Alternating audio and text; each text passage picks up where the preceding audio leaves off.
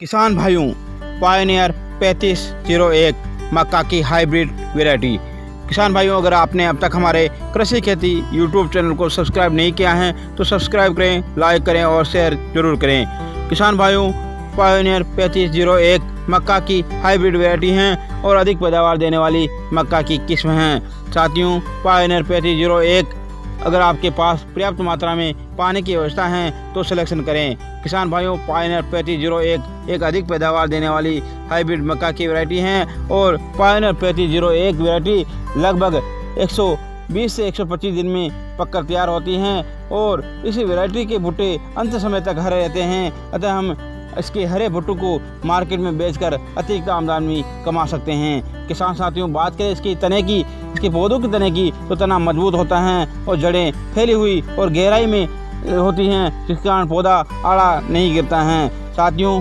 Pioneer पैंतीस zero एक के दानों का कलर गहरा ऑरेंज कलर का होता है। इस कारण मार्केट में इसका भाव अच्छा मिलता है। इसके अलावा पायनर पैंतीस ज़ीरो एक के दाने मीठे होते हैं। इस कारण खाने में भी स्वादिष्ट लगते हैं। पायनर पैंतीस ज़ीरो एक बैटरी में रोगों और कीटों के से लड़ने की क्षमता भी पर्याप्त मात्रा में होती है। साथियों पायनर पैंतीस ज़ीरो एक के दानों का वज़न अच्छा होता है, वजनदार होते हैं, चमकदार होते हैं। इसके अलावा पायनर पैंतीस ज़ीरो एक वैरायटी में जो भुट्टे होते हैं, पूरे भरे हुए होते हैं, वजनदार होते हैं। और इसके भुट्टों में अगर लाइनों की बात करें तो अठारह लाइन हो पाई जाती हैं। वहीं साथियों पायनर पैंतीस ज़ीरो एक की पैदावार क्षमता की बात करें तो लगभग तीस से पैंतीस क्विंटल प्रति एकड़ पैदावार देखने को मिलती हैं। किसान भाइयों पायनर पैंतीस ज़ीरो एक वैरायटी को पानी की अधिक आवश्यकता होती है।